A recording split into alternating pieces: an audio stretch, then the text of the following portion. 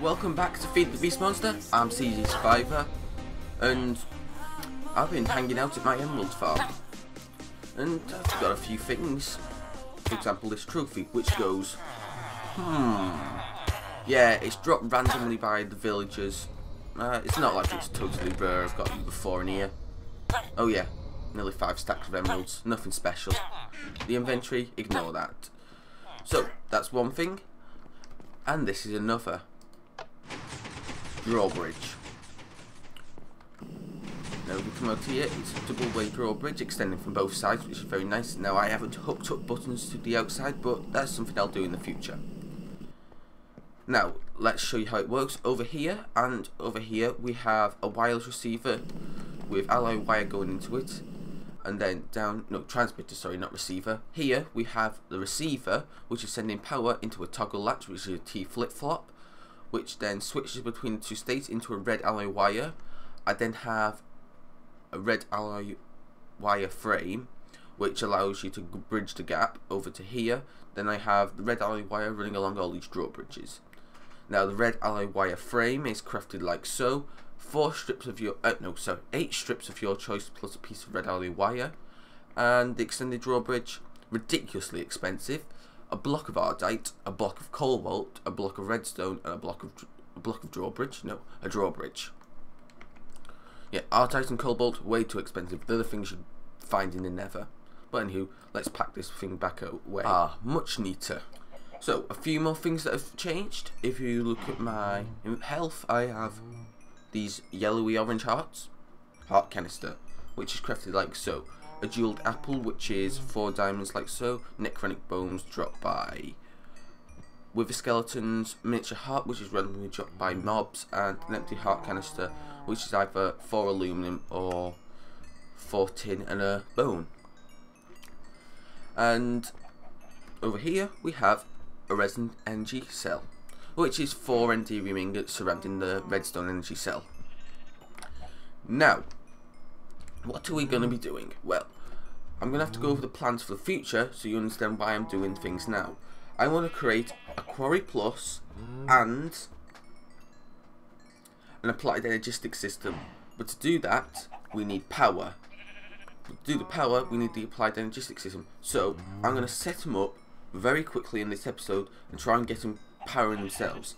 Now, where am I going to get this power from? Well, let now, me show you. This solution will come in the form of biopower. So, let me explain how I'm going to do it. First of all, I'm going to crush these apples into mulch and fruit juice. Why? I'll explain to you later. So, if we type in biomass and we click on the bucket and then we click on this squeeze a bit, you create biomass by fermenting saplings or other things. There's a load of different things you can ferment, but I'm going to use saplings because they're one of the highest giving sources of biomass. Now, you can either use kelp, mulch, fertilizer, or compost. And as I said, mulch because I get it from apples. Now, apples also drop fruit juice, which I do believe increases the lifespan of your mulch. And I might as well use it because I'm getting mulch from the apples anyway. So then we ferment this. And then, if we put this biomass into a still, we get ethanol, which will be our most powerful power source. Now, this can be going, a biomass can go in a biogas reactor, whereas ethanol can go in a combustion engine or one of the dynamos, and I can't remember which one. And um, oh, I can't remember what it's called. Oh, one moment. And that is how you spell dynamo. Don't know why I was struggling so much. Now I believe it is the compression dynamo. Yeah, requires liquid fuel and coolant or fluid fuel, whatever you want to call it. Same thing, just whatever you want to call it. So, I've already got the still, the fermenter, the squeezer set up. I've got some Tesseracts. I just need to craft this compression dynamo and then we should be good so to go. Here is some compression dynamos, mm. 12. Now let me explain why 12. Now, Each compression dynamo will mm. produce 80 redstone flux per tick. Mm. Now, the top tier of cable can transport 1000 RF per twick, per twick, per tick. Oh wait, no. 10,000? Oh, I can get a lot more, actually. Let me rethink. We're going to go with 26. Now, I've done some recalculations. I've gone over to the base and made some shapes. Well, not shapes. Size measurements. So, what we're going to do? Well, I'm also going to craft the applied energistic stuff now so that I can quickly set it up. Now, applied logistics is a pain to craft everything. I'm going to go with the smallest thing first so that it can do the automation of auto crafting and then we'll upgrade it once we get the Quarry Plus set up. How's that for a plan? Now, when you're making these advanced processors and basic processors, make the assembly and then use the Mimicrite, whatever it's called, to double it. Two diamonds for one, in theory. So, let's get started with setting up the applied energistic system. Just gonna pop this hard and strong box down, which contains all my stuff. Now, What's special about a hard and strong box is that you can set it on multiplayer, which the main feature is intended to owner only, and then no one else can access it. And you can also shift click to pick it up, and it retains its contents as you saw before. Well, that's that. So we'll just move this and put it into a neat location for now. And I've made some steel tanks. So I've got fruit juice, biomass, and ethanol. So we have plenty to store up. So, first of all, let's get down our... I think we should start with actually the power. We'll get the power down and then we'll get the... Um, what's it called? Yeah, can't remember what it's called. Okay. I'll, it'll come to me in a bit. So first of all, let's get down this strong box and let's get out these you, you and you. So I believe I set it up so it goes here. So this should take 13 to here I believe. If I don't click on them. And then if we put some of you here along the top so we get the power out. And then we also put some along the top here. Now I'm not sure how much power this will produce. Uh, I should have really calculated. 80 times 23 um, that's a tough mental maths question. Let me just pop the calculator up and I'll that find be 1840 RF per tick which I believe is very powerful and that looks like a lot of power. That just looks impressive. Yeah, we'll just leave it like that. Nah. Actually, we'll finish it off. Um, so now that we have that, I'm going to stick this hardened energy cell on the end. And I'm going to config this so we have blue there. So power, any power that is made in the compression dynamos goes into here. Now we need to set up some water. Hmm. Let me think about this. If I run... Oh, that might work. If I run let me grab my fluid ducts. I think I might actually need a bit more. Yeah, I will need more fluid ducts. But I'll show you the principle and then I'll get them all down. If we put fluid ducts along the bottom like so.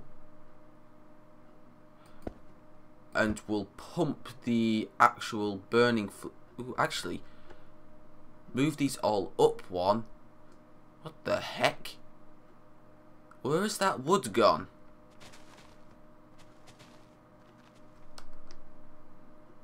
Right, I'll bump these all up and I'll have the ethanol get pumped along the bottom and above them and I'll have the water pumped into the sides.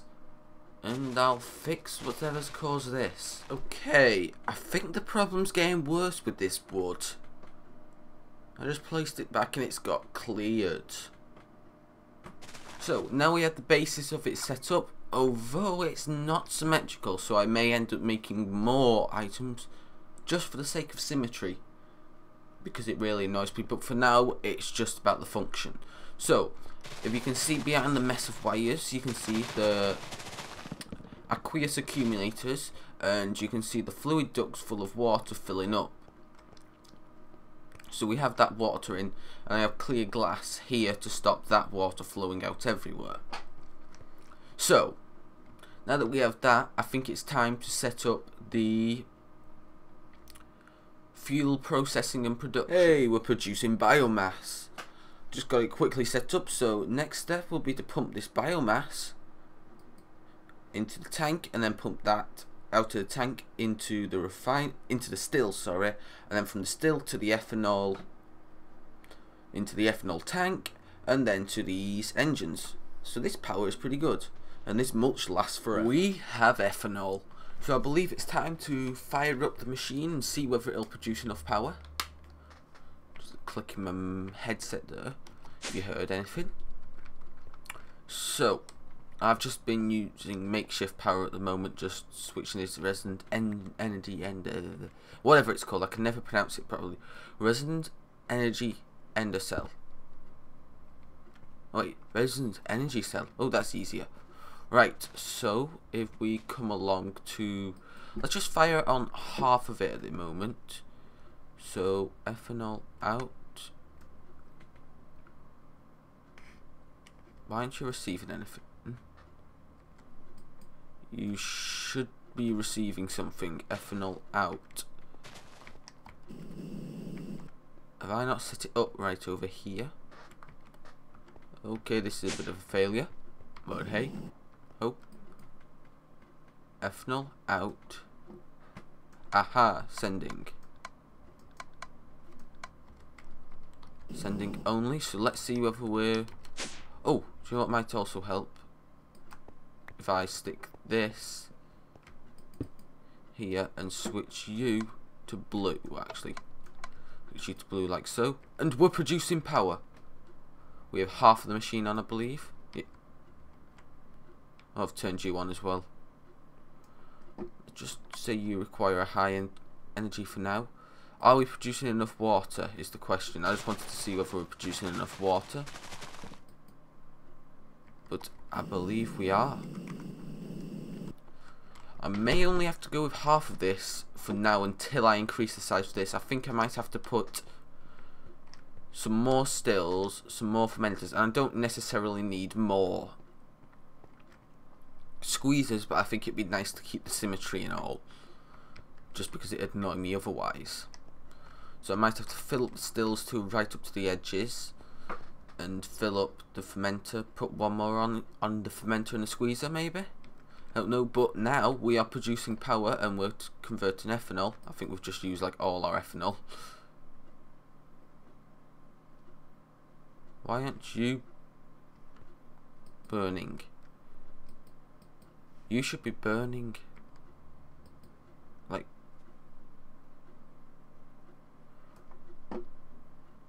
You're, oh, are you burning or are you, are you like real efficient? Yeah, the, oh, they're just real efficient with it. Wow, that's pretty efficient. I didn't think it would last that long. So now, let's set up the applied energistics. Right, so here's the first thing I've set up for the applied energistics. These are basic import buses. Now you have to think of it as this applied energistic network is the center. So you import into the applied energistics center. That's the confusing thing. I always thought it was the other way around when I first started messing around with the mod. So yeah. So you import into the system and you export out of the system. So over here I have export buses, precision, so I can export oak saplings and mulch. Now this should export into both slots hopefully, if I can get up there. So I have the mulch down here, I'll put the saplings up here. I'm running out of saplings. I brought over some scrap saplings so to speak, excess saplings from when I've had it on spruce mode and the big giant wood trees that I can't remember what the name is. So now down here we're going to set it up. So first of all we need the controller. I'm going to put you. Hmm, we're going to have a five by five. So I think put you there. We will then put the ME drive crafting table and the crafting monitor. Um, terminal monitor and we'll put this drive uh, one, two, here. Oh no, I'll put it at the front here. I'll get a second one to make it sy symmetrical. And then we'll install the actual main thing. Um, pattern provider and we need one more thing. Or is it the crafting CPU? This is the smallest one you can build just wants to get started and get the power up and then get the quarry going and then we'll build the biggest one. Because if you watch from my other series on the Unleashed pack I built a 9x9 one of these. It was very very expensive. And we'll just build it like so. If I can get out my inventory please. Thank you. Put you there. You there so you need the heat vents on the outside containment walls like that you can see how it's going. So we'll just put everything down and we'll just have a quick look at the recipes so CPU is a diamond circuit some glowstone and some iron. The circuits as I showed you before the cheaty system with the mimic and like that. The provider and I think I'm getting a bit of lag is a load of these conversion matrices and another diamond processor. The conversion matrix is a gold processor and that's got the same cheaty method. Then we've got the containment walls, which is 4 gold and some Certus quartz and some iron. And the heat vent, and I'm getting some major lag, I can feel it. Yeah, major lag. If it'll let me, is 4 iron bars, an ME cable, and some iron. ME cable is Fluix dust and glass. Fluix dust is redstone, Certus quartz, and nether quartz just grind up the nether quartz and if we put this here and we go into this this should say yeah? Say um, we'll put it into well it can go it doesn't matter what any mode it's in but this will show what power it's currently using. I think I'll best go into MJ for now yeah that'll be the best thing. So we're currently using 2.4 MJ which is nowhere near as much as we'll be producing. Yeah I'm getting major lag let me restart the client. Right so things have changed around a bit now since me having that major lag spike. So back here we have two medium voltage solar arrays one behind the other funneling to the ME controller. And then on top of the ME controller I have an energy cell which just basically increases this machine's storage capacity rather than using a dead expensive MFE or MFSU or CESU. Ridiculous, I'm currently holding 105,000. That's a lot of energy. Well, I'm using 8.6 EU per tick, and each one of these produces. Oh, that's that's more than enough. That's okay. Um, so I've started adding some stuff, and I've added these items to the ME crafting terminal, well, the storage of it, which all should be on this disk drive. So, down here we have an ME pattern encoder, we have a crafting monitor, we have drives. So in here, I put a blank pattern. Now I want to know, well, make the system know how to make blank patterns. So if you go into NEI or however you want know how to bring up a recipe and shift right click on the question mark whilst in an ME pattern encoder you can encode it like so. So we'll come to this put it in here and if we go into here oh we can craft blank patterns. And if we say begin and then we come over to our crafting monitor we will notice we have no glowstone because I haven't put any in. So I can now auto craft blank patterns which is the first thing you probably want to go and teach your system how to auto craft. So now that we have that we've got a lot of crafting ahead of us. Now, if you want to cancel the crafting rest crafting, you shift left click and it gets rid of it. So now we're just going to shove in a load of items that I will eventually need because I know get in the system because you lot will always end up needing to be crafted with. Uh, we'll just uncompress that cobblestone for now I've not set up any deep storage or compressed storage. We're just going to stick it all in here. Voila. And now if we request a blank pattern, begin, come into here, we have one blank pattern. which means we can start teaching the system how to craft everything we want. But unfortunately, that's all we've got time for in today's One episode. more thing before we finish off. I'm just going to add a wireless access point, fill it up with range boosters. 16 it'll take at max, and then if we come over to this on the power fist. Oh, right. Um, how do I link this up again? And then we click, voila, I have access to all my ingredients in the ME system. So yeah, so, thanks for watching. I hope you enjoyed this video. Between this episode and next, I will connect up the power, no, not the power, um, this up to the stills, not stills, the fermenter and squeezer to auto extract the items in. I'll get the items away from the tree farm and then we'll see whether the system is stable enough to keep itself running. If not, I might have to add another tree farm, I might have to add more stills, I'll do some testing off screen and figure out. Now, if you enjoyed, leave a like. If you're new to the channel, subscribe. Leave a comment if you've got any questions or you want to tell me something. Stay well and Survivor out.